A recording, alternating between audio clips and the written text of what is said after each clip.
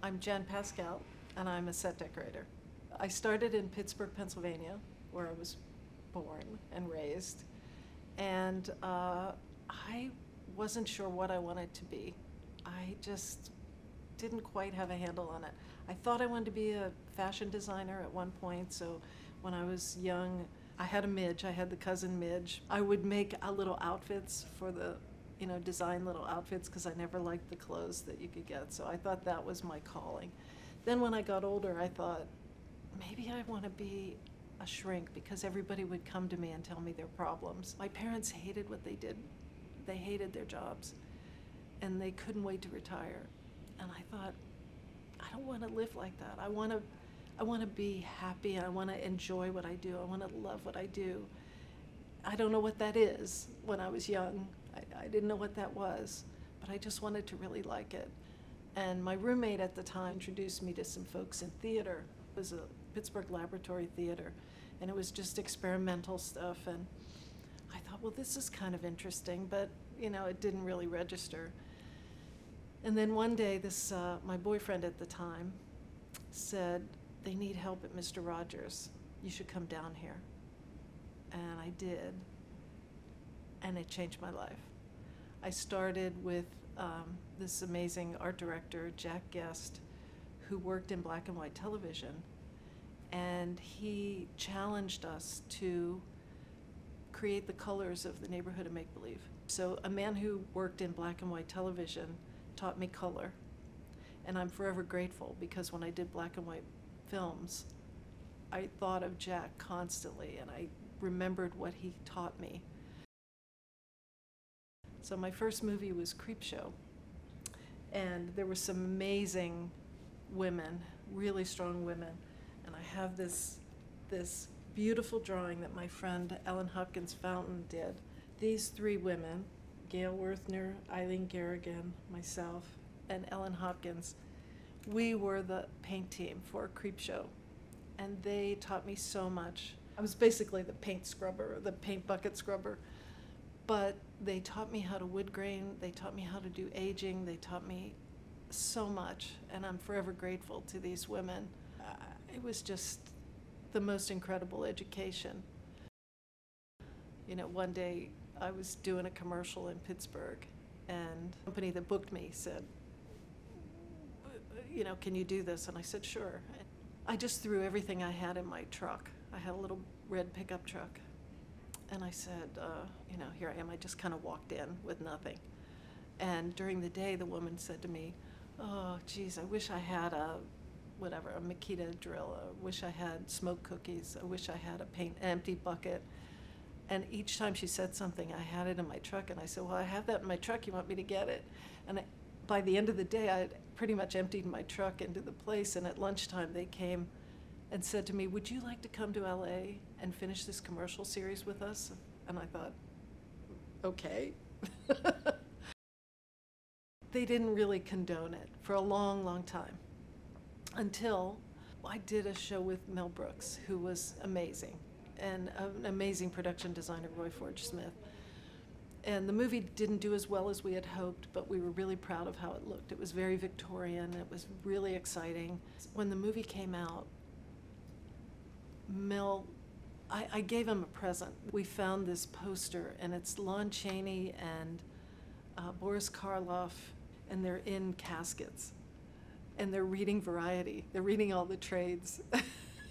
and it was hilarious. So we gave Mel, we framed one and gave it to him, and he wasn't there the day that we dropped it off. So he left a message on my home machine, and my parents happened to be visiting. So I put I had two extensions and I had I put one of them on each extension. I played the the thing with Mel Brooks saying, "You did such a great job and I'm so happy with how everything looks and blah blah blah. Thank you for the present." And my parents' eyes got bigger and bigger and bigger because it was Mel Brooks talking to their daughter. So that helped, but it didn't they still weren't on board. We won an Emmy in 2001 for a show called Boston Public and they came to visit again and they saw the Emmy, so that was pretty exciting. And then my mom was still around when we were had our first Oscar nomination for Good Night, Good Luck, and that helped a little. But she still would lament once I realized this was it, I was all in. And I'd do anything. When I speak to students, I always say, when they say, How do you get into this? or What do you want to, you know, what do you need to do? And I always say, Be a sponge, just observe. You know, you'd see what people need or what people are asking for, and you figure out how to do it, or you learn or you ask somebody how to do it. Part of being a set decorator is being observant, and you want to absorb any environment that you're in because you may have to recreate that someday. You know, I just started collecting tools and you know, being a because I worked with the paint department, I had a bunch of empty buckets and you know, doing a little job here and a little job there. You know, I had smoked cookies because that was the thing at the time. I had accumulated tools catching on that that I needed those things to do what I was doing. And so I did props and I did some set decorating and you know, I just want I was so hungry to learn that I just would say yes to anything. The way I look at it, we're storytellers. We're here to support the director's vision and the script. And we work with the production designer, and we need to figure out how we can tell you where you are and what's going on in the surroundings in a second. You know, the production designer envisions the entire movie with the director, and then the set decorators come in and we give it the life inside of the walls or inside of the alley or inside of the auditorium. We bring all the details. It's really important to me to make the actors comfortable where they are, to make sure that I, have had actors come to me and say, Thank you so much, now I know who I am. I know who my character is. And that to me is, again, it, it's, you couldn't say a better thing. I love to do historical pieces and period pieces, and we do a lot of research on that. And I always say that I'm, I take all the information in, I do deep dives into research, and I put it all in the blender.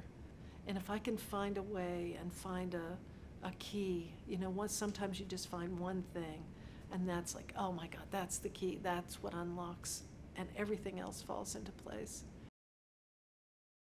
Argo oh, was just such an amazing experience. It was really a deep dive into an historical event. And for that one, I felt like we all really had this important mission to really tell this story as correctly as we could. The, the documentary that we watched, 444 Days, was just unbelievable. And the more we dove into it, the more we could learn. And we were, um, our researcher was communicating with some of the hostages and was communicating with some of the house guests. So we would provide lists of lists of questions to ask, and those people were so generous to tell us their emotional stories. It was really incredible. But I felt such an obligation to get it right. I came up with this whole list of questions that I had, like what kind of furniture when you were an ambassador, did you take your furniture with you? What did you bring from home? What kind of phones did you have? What was the art on the wall? We had seen a photo of a woman in a burqa eating Kentucky Fried Chicken. And Ben really wanted to do Kentucky Fried Chicken, and we just couldn't find any research on it. And some guy from the Tehran American School said, "Look what I look what I have," and he had a takeout box with the Colonel in Farsi and he posted it in this group. I almost had a heart attack. I remember running out of the office. I said, We've got Kentucky Fried Chicken. And it's actually at Warner Brothers right now. We had some made, and they have it on display in the hallway at Warner Brothers Prop House. You know what? I love his passion. I really love his passion. I think we share that passion. We want to get it right, we want to tell the story right. I remember we were so proud of the bullpen that we did at the CIA. They had all the teletype machines. They literally were printing out the script words about what the status was. So we were really proud to show Ben the set. We were like, we're ready. We're in the basement of the LA Times. It was a completely empty room. We brought in every single thing. And there was this thing that we learned about that the CIA had as a communication device and it was bizarre. It, it was vacuum tubes like you see at Home Depot where you, they send the money up in the thing. So we found the actual company that made this thing at the CIA. We created these tubes and this catch-all thing and we, we got the actual tubes that they used to use. Ben came in and said, does it work? and we went, um, give us a couple minutes. he really wanted the house guests to have a connection to one another. But he made the house guests live in that house for a week with no cell phones and no outside contact. There was a PA in case of emergency, but they lived together for a week. And I just thought that was so brilliant. And it really made them connect to one another. And I think it made the film so much richer. And I was just so impressed by it, as, as freaked out as I was that we had to get the set ready early. You know, I think people need to understand that it takes a village. That I can have all the ideas I want, but if I don't have a crew that is dialed in to the project and to me and to the designer, it's just an idea. I think that respecting all of the talent that they have and that they bring to the table is key. And also building relationships. I have great relationships with prop houses. They've helped me so much over the years. History for Hire, Pam and Jim, who own History for Hire, have. I, I don't know how I could have done half the things I've done without them.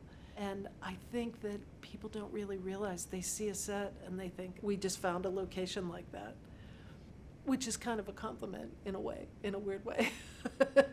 if people don't notice. But I think it's important to know that the set decorator manages all of that.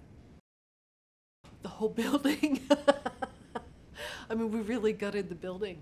Uh, we tore everything up. The shoe lab was a challenge to buy the shoe lasts, which we couldn't find in quantity. You know, budgetarily, it was a little bit of a challenge because I had to.